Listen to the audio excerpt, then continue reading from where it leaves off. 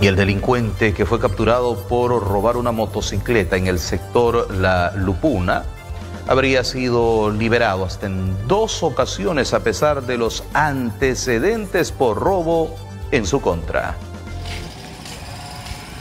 Este martes nos llegó una nueva denuncia pública sobre el caso del delincuente que robó una motocicleta el pasado lunes. Es que el propietario del vehículo hurtado informa que llegó a realizar la denuncia correspondiente y efectivos de la policía lograron identificar la moto, deteniendo a la persona que venía conduciéndola. Este sujeto fue identificado como Pedro Gabriel Ramírez Flores, quien según informaciones, este hombre ya había sido detenido dos veces anteriores por el mismo delito, una de ellas el 9 de noviembre del 2021, cuando realizaba el hurto de un vehículo en compañía de otras dos personas en los alrededores del Parque de la Lupuna. Pese a este hecho, Ramírez Flores fue liberado en aquella oportunidad. Un año más tarde, el 24 de noviembre del 2022, fue capturado por los efectivos de la comisaría de Yaninacocha, luego de perpetrar su última fechoría en una vivienda del asentamiento humano Las Perlas, y nuevamente, pese a haber sido detenido, fue puesto en libertad otra vez. Este lunes, tras haber sido capturado y tener una denuncia en su contra por el delito de hurto,